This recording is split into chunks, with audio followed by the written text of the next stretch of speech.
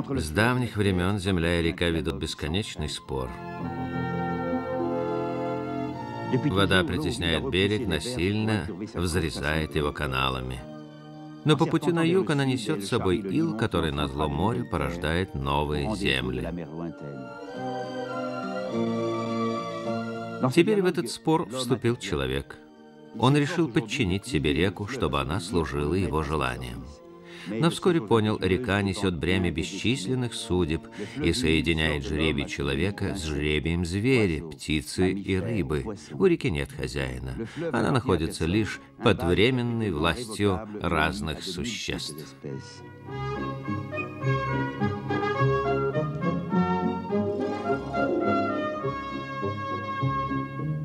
Мы изменили реку, а река изменила нас. Это часть необыкновенного приключения, которое началось очень давно. Ведь Миссисипи течет не только по земле, она течет по американской истории и мифологии.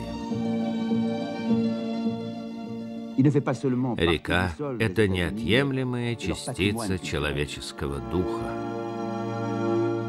Великая и древняя проматерь, источник жизни, кровь Америки. Команда Кусто на Миссисипи.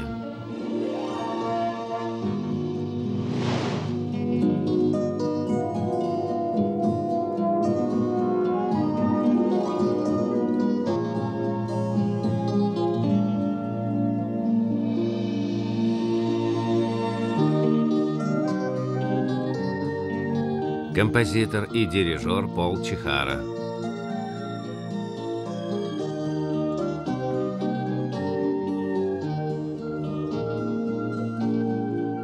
Фильм снят при содействии Музея океанографии Монако. Фильм Жака Эва Кусто и Жана Мишеля Кусто.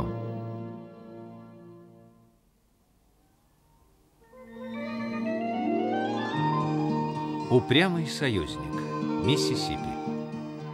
Река берет начало на севере штата Миннесота в снегах. Команда «Калипсо» во главе с Жаном Мишелем Кусто готовится к зимнему погружению. Во время последнего ледникового периода, который окончился 9 тысячелетий назад, гора льда поднялась на 4 километра. А потом стена растаяла и превратилась в озера Северной Америки. Одно из таких озер – Итаскан. Вода, что дала жизнь континенту, теперь кажется безжизненной. Жан-Мишель и его товарищи ныряют в подводные глубины и обнаруживают там царство сна.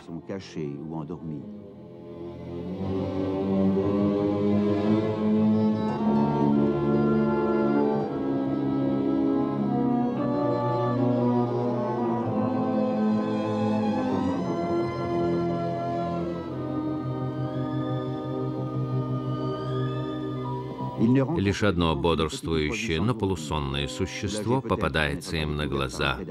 Речной рак счастлив, что крупные хищники проявили милосердие.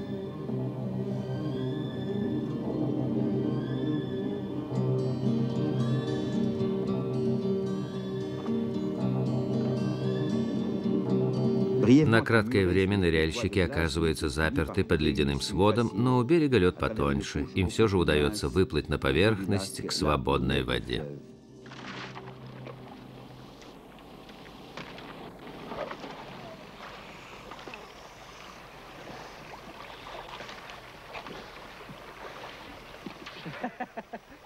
Выбрались? Точно. Надо же, сонное царство. По скользким речным камням ныряльщики выходят к мелкому ручью. Это и есть начало могучей Миссисипи.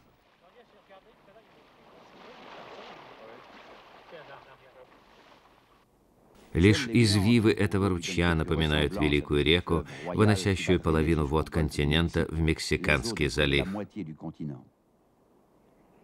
Пройдя Новый Орлеан, что в трех с лишним тысячах километров к югу, река становится теплее и говорливее.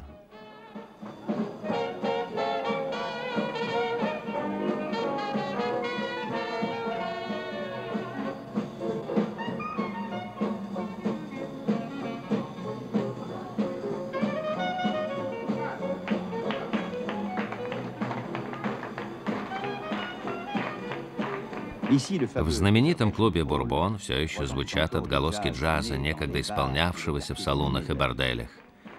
Негры и креолы вложили в эту музыку свои резкие голоса и свой характер, а потом их музыка облетела всю реку и весь мир.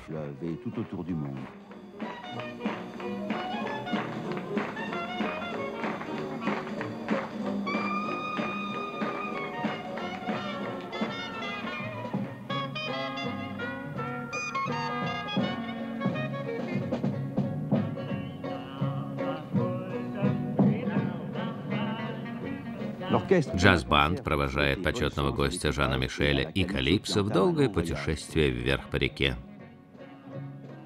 Но Миссисипи уже не та, что во времена, когда первые вестники джаза хриплыми голосами распевали рэктайм и блюз.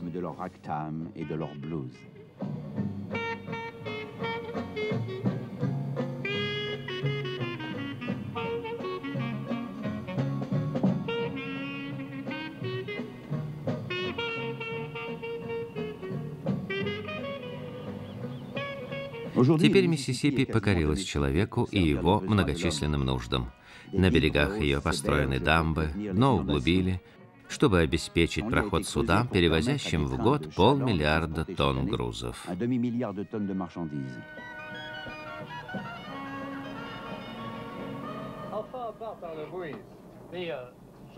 Капитан Кусто обсуждает с Джерри Маккарти и Эдом Уинфордом опасное ремесло речного лоцмана. Barge, I assume, where you're pointing me here with the, the uh, bumpers there. The, uh, okay, fine, Captain, we'll go in there and easy can land there for you. And take it with courtesy. Лоцман по 6 часов проводит в рулевой рубке, и даже слова сказать не с кем. Потом 6 часов спит, и опять на вахту.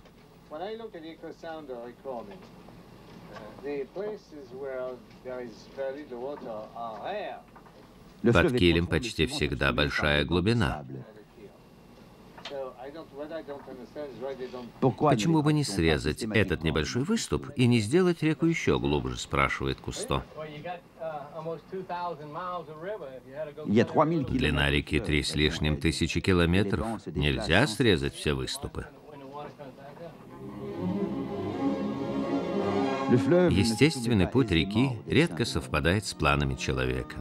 Военно-инженерный корпус, коему со времен промышленной революции было вверено управление водными путями на материке, учился методом проб и ошибок. Сейчас огромные драги очищают дно каналов, всасывают ил и выбрасывают его далеко на сушу.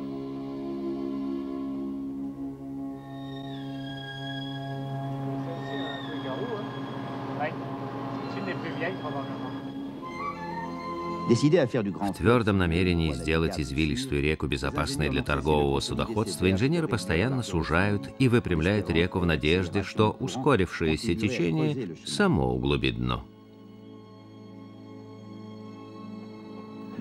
Люди ведут неустанную битву за поддержание уровня навигационной глубины.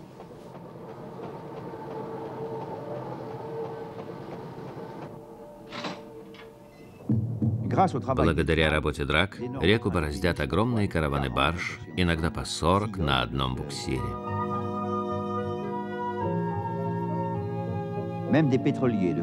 Даже мощные нефтеналивные танкеры проходят вверх по течению до самого Батон-Ружа, порта в 400 километрах от устья реки.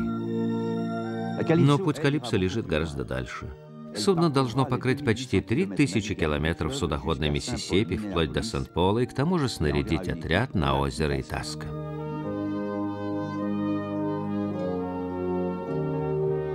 Название Батон-Руж служит напоминанием о французских первопроходцах, расселившихся по всей Миссисипи. Но город славен не только именем. Батон-Руж — это центр большого нефтедобывающего района. Здесь ежегодно наливают в морские танкеры полмиллиарда баррелей нефти. Среди промышленного ландшафта, окаймляющего берега Миссисипи, до сих пор видны останки бурного прошлого этих мест.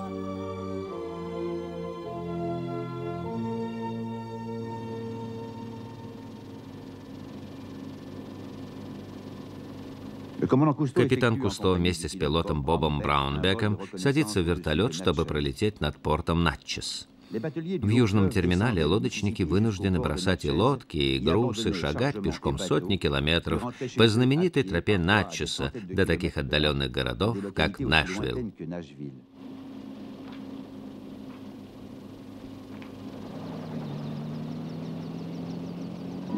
Прежде, путешествуя по реке, лодочники и шкиперы находили отдохновение в припортовых салонах и борделях. Но сохранились и дома более аристократического стиля, хотя жизни здешних аристократов давно пришел конец. Главное украшение пейзажа – вездесущий кудзу. Быстро разрастающийся кустарник был завезен сюда, чтобы предотвратить эрозию, но превратился в сорняк, бороться с которым куда труднее, чем с эрозией.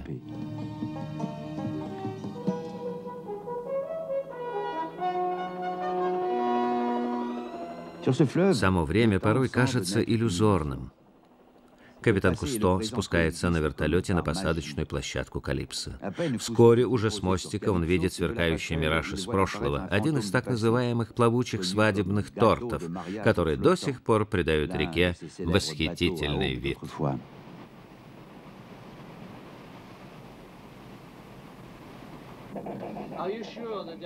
Кусто спрашивает Маккарти, для чего на корабле зажигают прожектор. Чтобы было видно Бакины и береговую линию Миссисипи, отвечает Лоцман.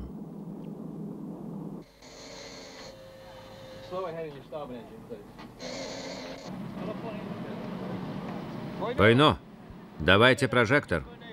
Сейчас. Вывешивайте.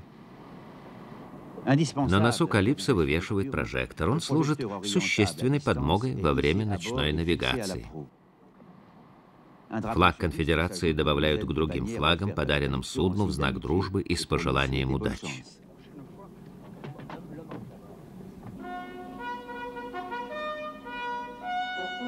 Удача никогда не помешает. Отец и сын Кусто понимают, что бесконечно меняющийся ход реки, внезапные водовороты и омуты свидетельствуют о скрытых изменениях, доставивших немало горя сотням судов. Даже бакины иногда сносят с места, и потом их вылавливают специальные сотрудники пароходства, вроде Роберта Томаса. Томас сообщает, что нашел сорванные бакины. Два черных, два красных и еще четыре маленьких. C'est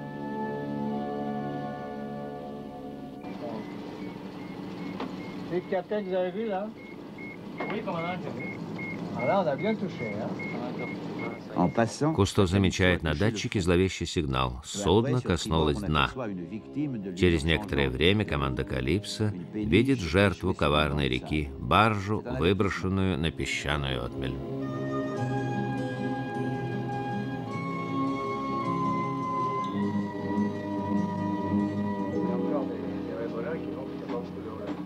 Услышав предупреждение, все, кто собрались на мостике, тут же замолкают, ловя изменения в четких сигналах эхолота.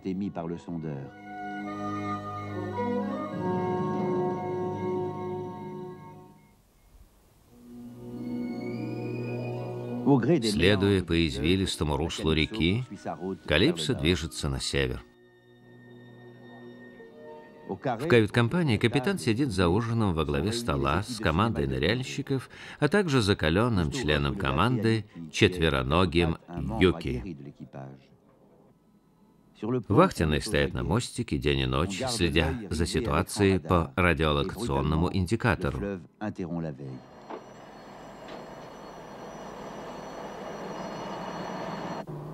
В темноте судно село на мель. Наскочило на подводный перекат, повторив судьбу других незадачливых судов. Капитан Кусто немедленно приступает к чрезвычайным мерам. Прежде всего нужно бросить якорь в канале, чтобы освободить судно.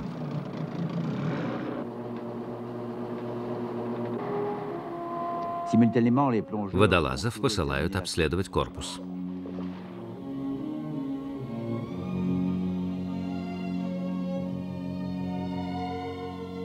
В мутных глубинах ныряльщики обнаруживают небольшие повреждения киля, плотно увязшего в дне.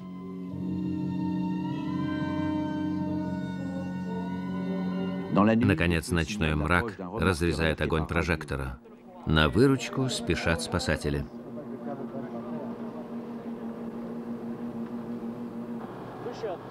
Они нас быстро вытащат, я уверен. Надеюсь.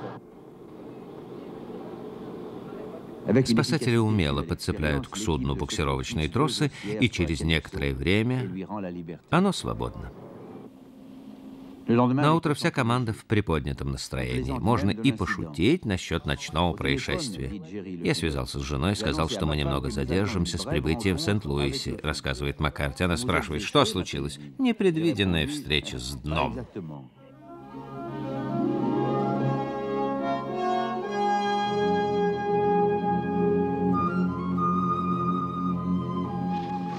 Судно приближается к Виксбергу, штат Миссисипи. Браунбек взлетает с палубы и летит над городом, за который шли ожесточенные бои во время гражданской войны. Защищенный отвесными берегами в нижнем течении Миссисипи, Виксберг стал жизненно важным объектом юнионистской стратегии, ключом к победе. Как ни странно, здание суда, возвышающееся над городом, не пострадало. Не в силах повернуть реку, генерал Уллис Грант послал свои бронированные канонерки в обход артиллерии конфедератов. Город был окружен и взят.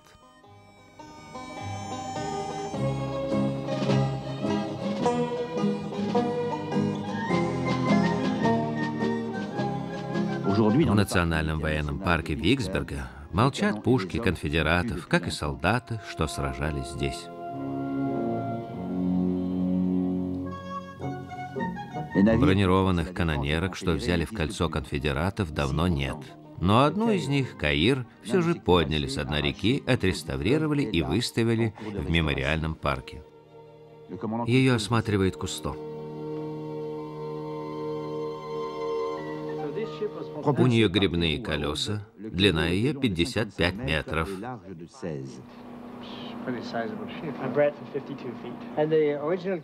Пушки тут настоящие на тех же самых лафетах. Их закрепляли веревками.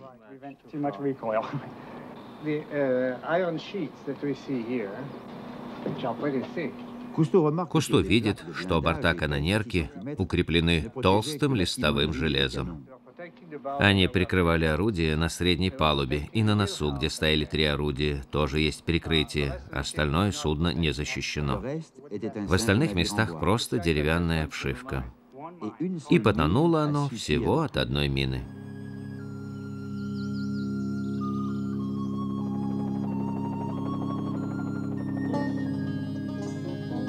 Вертолет летит вниз по реке за Виксберг. Он обнаруживает поля самой распространенной культуры американского юга – хлопчатника.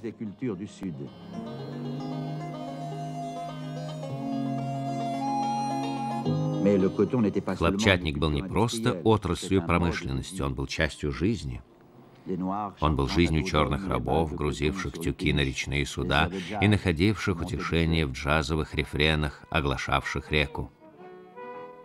В клубе «Блюз Элли», где когда-то помещался склад хлопка города Мемфиса, штат Теннесси, 77-летняя Лора Дьюкс хрипловатым голосом исполняет блюзы «Память молодости». away. Her name was Lucy May. She went to the garden to play one day along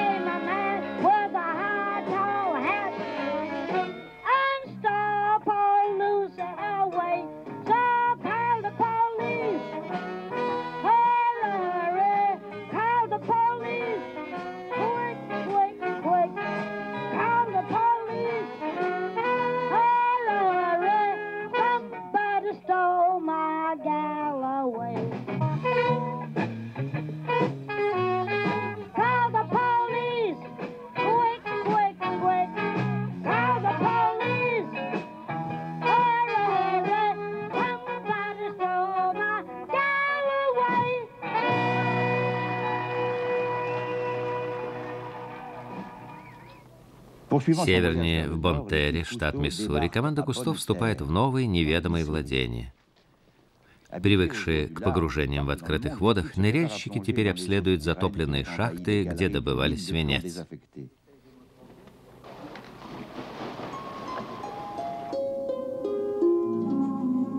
В огромных подземных штольнях и штреках, откуда за сто лет было извлечено свыше 30 миллионов тонн свинцовой руды, все осталось так же, как в день закрытия. До сих пор прислонена к стене лестница, только подниматься по ней уже некуда. А вот вагонетка, она словно ждет, что в нее загрузит свинец.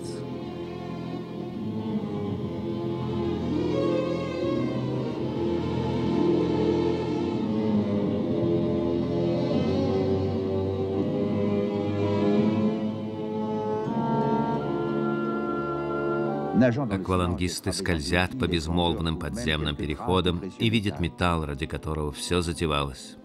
Тонкие свинцовые жилы, некогда предмет чистолюбивых замыслов, а ныне полузабытая сноска в истории формирования американской нации.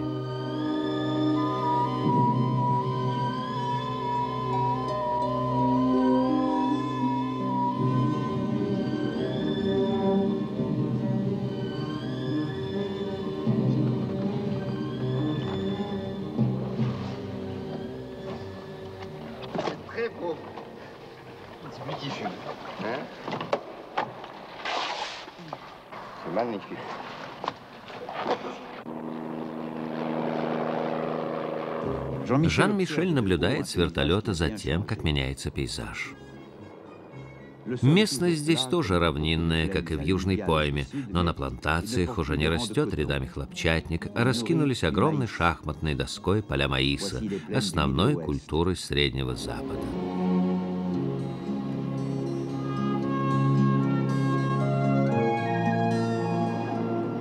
Здесь, во время ежегодного механизированного ритуала, миллиарды бушелей кукурузы, пшеницы и других зерновых льются золотым потоком с полей в элеваторы.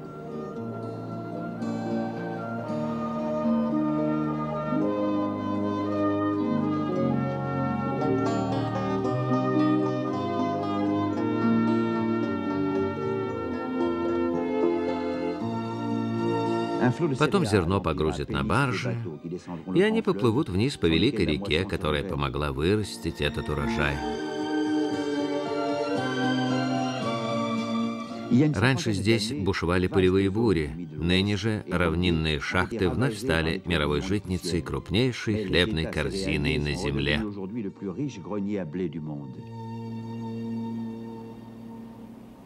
Над речной долиной нависает арка Сент-Луиса, огромного перекрестка дорог страны.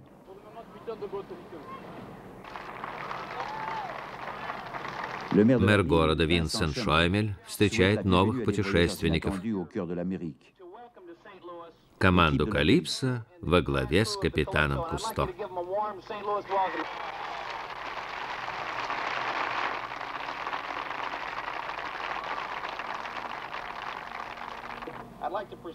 Он вручает команде Кусто символические ключи от города.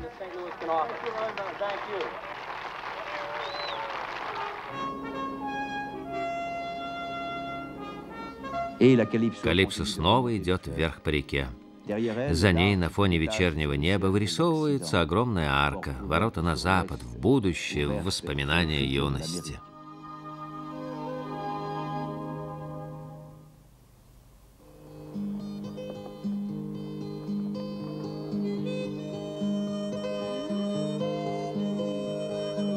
Пока Калипсо следует главным руслом к Сент-Полу, далеко на западе другая часть команды играет в ковбоев. Отряд на грузовиках следует к Йеллоустонскому парку и главному водосбору Миссури. Доминик Сумиан и его спутники отложили в сторону свои водолазные костюмы и учатся заарканивать бычков на ранчо возле Пьера, штат Южная Дакота.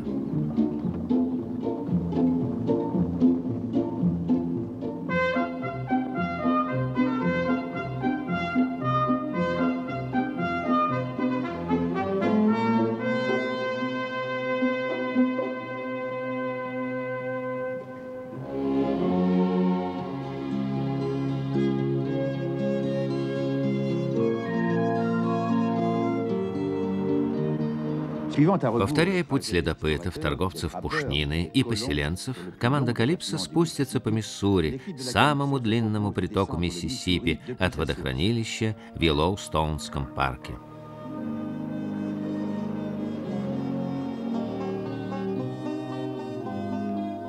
В зимнем Йеллоустоне теперь пусто. Нет туристов. Лишь коренные жители, которые не любят незваных гостей. Снежный баран, угрожая Доминику своими внушительными рогами и копытами. Доминик благоразумно ретируется.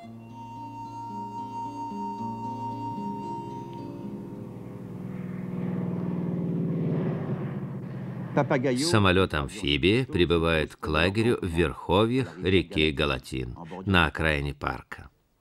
Доминик выводит лодку на сушу, где Жана Мишеля встречают ныряльщик Дон Санти и другие коллеги Ксавье Демье, Филипп Морис и Бо Браунбек.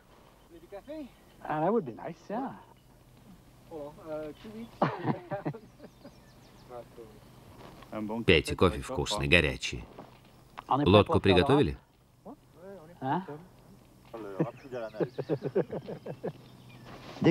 После краткого обмена новостями команда Кусто быстро сворачивает лагерь. В непромокаемых костюмах они спускаются по самому опасному участку верховьев Миссури, Галатину.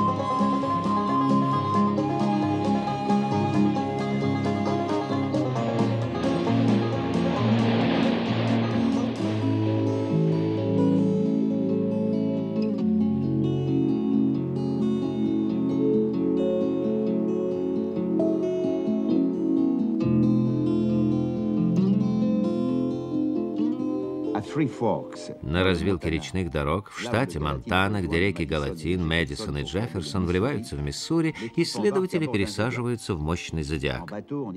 По воздуху, по воде и по суше команда продолжит спуск по Миссури. Ей предстоит обнаружить, что река сильно изменилась с момента первого обследования ее Льюисом и Кларком в 1804 году.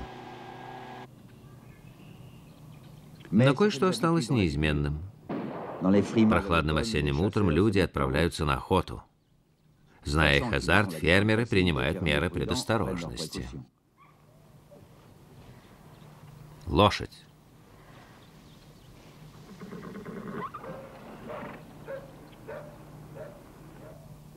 Многие охотятся на крупную дичь, на оленей, но окрестности оглашаются и перекличкой уток и гусей, собирающихся улетать на юг. Однако крякают не только утки.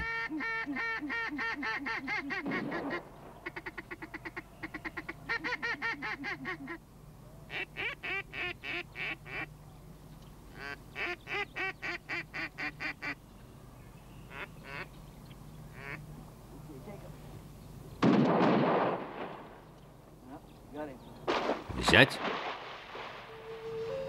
Охота выдалась удачная. Отец и сын направляются домой с полными ягташами. Но собаке не всегда удается отыскать подраненную птицу. Это создает немало проблем. До сих пор широко используемая свинцовая дробь доставляет немало неприятностей хищникам, орлам, например, которые часто проглатывают ее вместе с покалеченной птицей.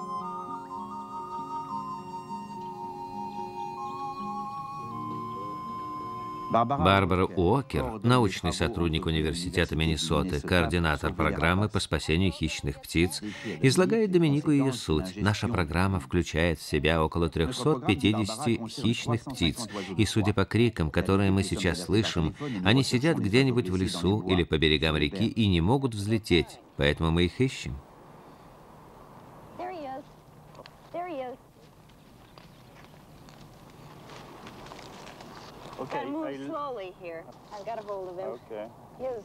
Его подстрелили? спрашивает Доминик. У птицы повреждено крыло.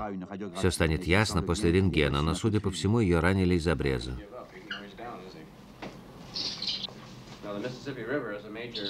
Доктор Патрик Реддих лечит подранков в птичьей клинике.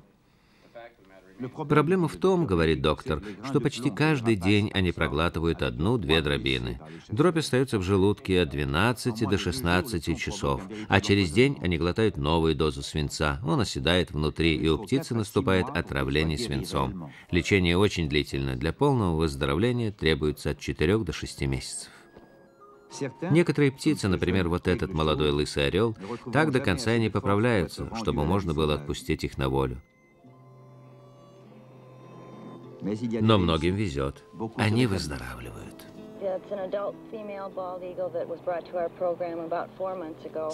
Вот эта взрослая самка лысого орла попала к нам месяца четыре назад в очень плохом состоянии.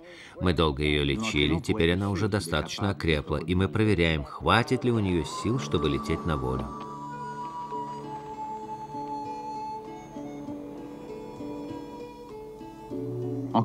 Пленница до сих пор не может привыкнуть к новой жизни, но скоро она снова будет парить на свободе.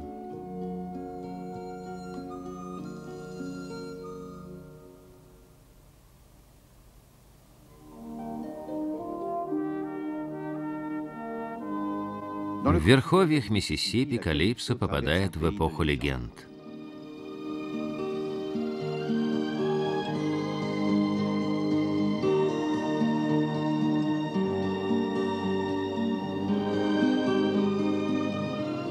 Капитан Кусто летит на разведку и с высоты обозревает панораму, которой не могли полюбоваться прикованные к земле пионеры, которые двигались на запад не только в пространстве, но и во времени.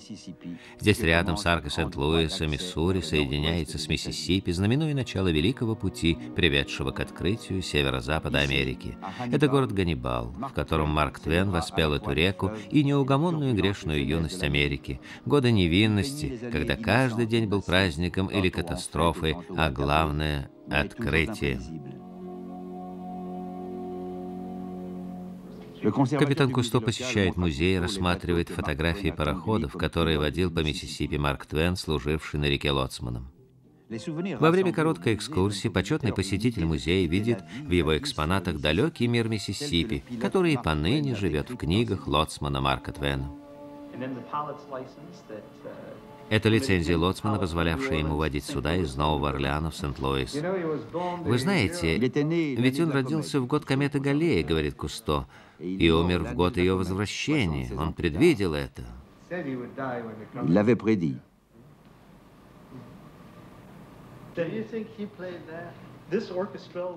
Этот оркестрион принадлежал Марку Твену, он играл на нем. Кусто тоже хочет поиграть.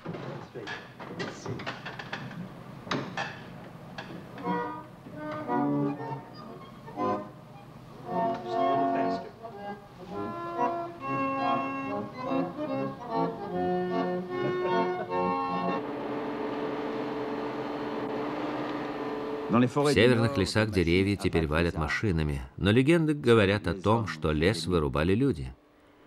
Пол Баньян и малыш Голубой Бык повели в чащу лесорубов и расчистили ее под пшеничные поля. Из вырубленной ими древесины были построены Миннеаполис, Сент-Луис, Канзас-Сити, Омаха и десяток других городов, разбросанных по всему Западу.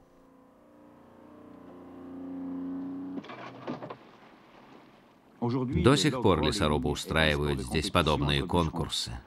И проигравшему приходится несладко.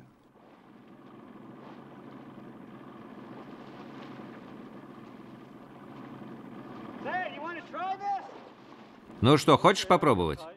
Конечно, хочу. Доминик, собравшись с духом, лезет на бревно.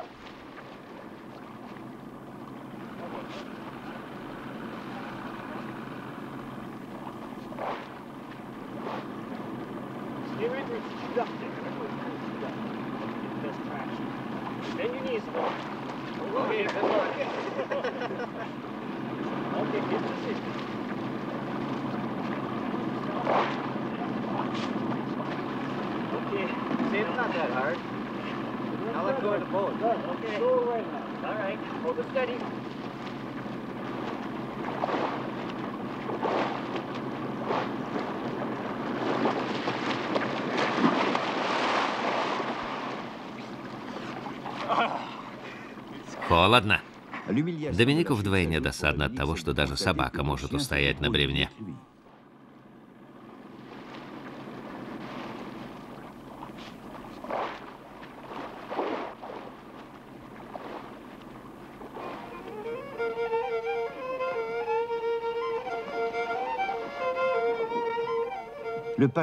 Явление из прошлого лишь отчасти иллюзия.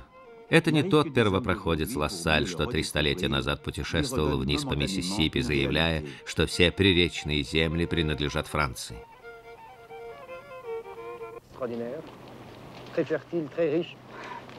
Сегодня роль Лассаля исполняет Рейд Льюис из Чикаго, который когда-то вместе с братом Кеном водил целую флотилию каноэ путями первопроходцев по Миссисипи до Мексиканского залива.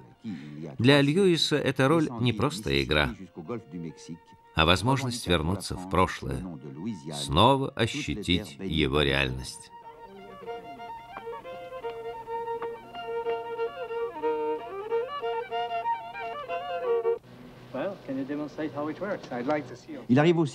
Порой старые предметы помогают воссоздать будущее. В лаборатории армейского инженерного корпуса Виксберга капитан Кусто зачарованно смотрит на макет, позволяющий проверить в действии систему шлюзов.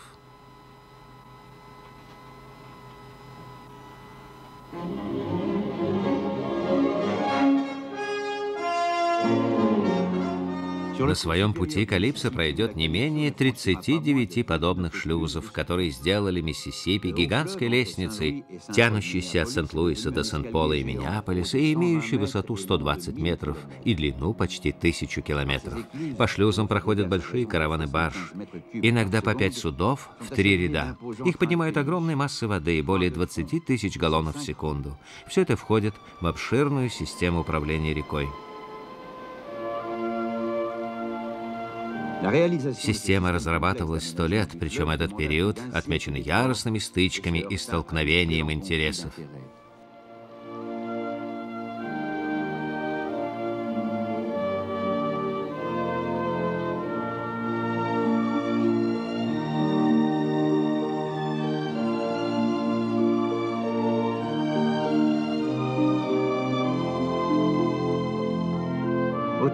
Пройдя около трех тысяч километров вверх по течению, Калипсо наконец достигает своей цели – городов Сент-Пол и Миннеаполис. Эти города путаны сетью железных и шоссейных дорог, отобравших когда-то у реки большую часть торговых прибылей.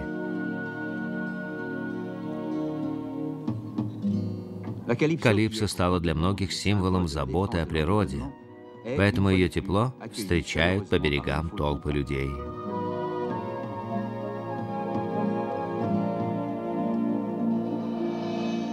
Альбер Фалько ведет судно в Санта-Крус. Фалько и штурман Трини ищут чистую воду, чтобы заснять подводную жизнь. И видит приближение обычной опасности для осенней навигации, дрейфующие массы тумана, что в секунду сокращают видимость до нуля и вверяют вождение судна его радиолокационной системе.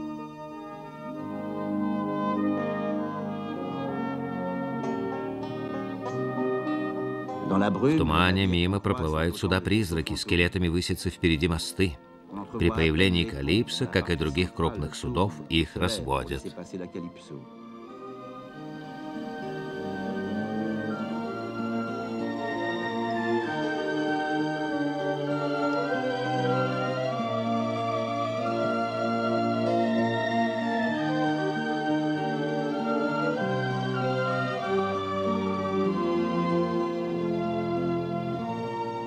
Наконец корабль выбирается из тумана.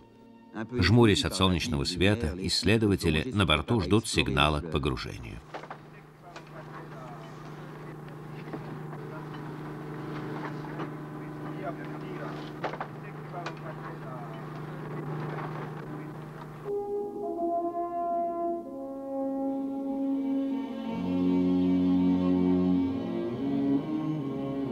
Словно движущиеся созвездия огней на фоне темнеющего неба, появляется перед подводной камерой стая небольших рыбок и тут же исчезает. Потом среди водорослей и затонувших стволов на дне возникают избранные представители семейства зубаток. Они подкарауливают речных раков и прочие дрейфующие в воде лакомства.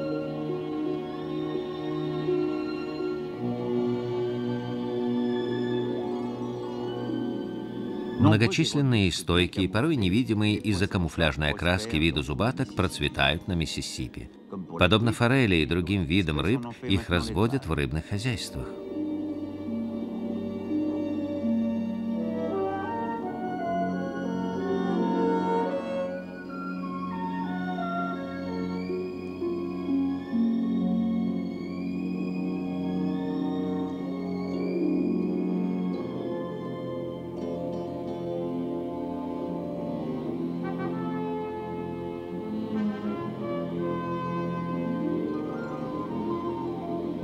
Но среди богатейшей речной фауны веслонос остается, пожалуй, на особом положении. Сегодня он сохранился лишь в бассейне Миссисипи, Миссури, а его единственный родственник обитает в Китае, в реке Инзы.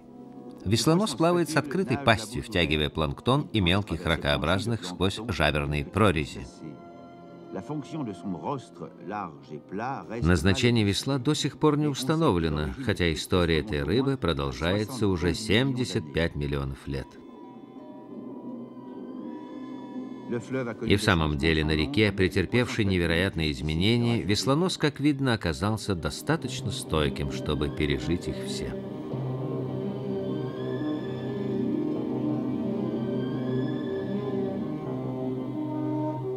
Вернувшись, ныряльщики размышляют о том, что встретили, по всей вероятности, самого древнего жителя Миссисипи.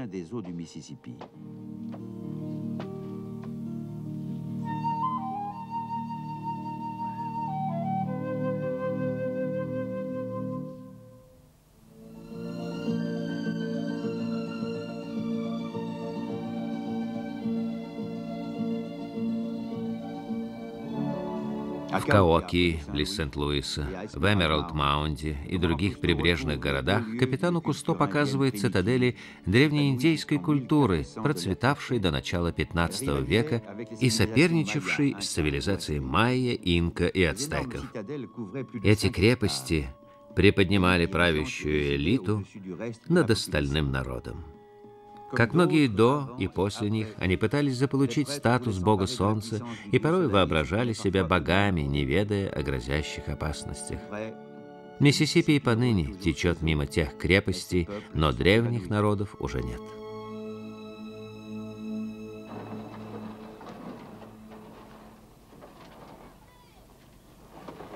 Большинство индейцев считают себя не богами, а смиренными детьми природы. В Ислейке, северной Миннесоты, индейцы Чипева поныне собирают урожай дикого риса, как было принято у них из поколения в поколение, и верят, что, поклоняясь растению, сумеют собрать лучший урожай. Осторожно наклоняя стебли в каное одной палкой, избивая зерно другой, они за день наполняют каное доверху. На близлежащем озере Итаска индеец Эрл Найхольм рассказывает Доминику, как индейцы представляют себе этот мир и свое место в нем.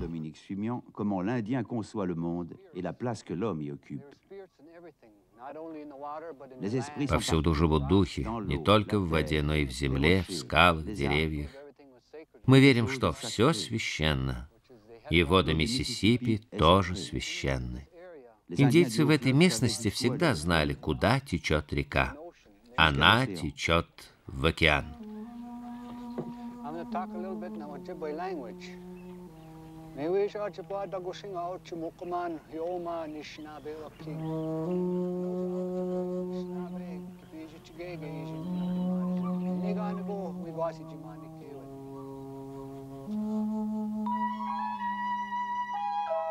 Фильм озвучен студией «Инис» по заказу «Союз Видео».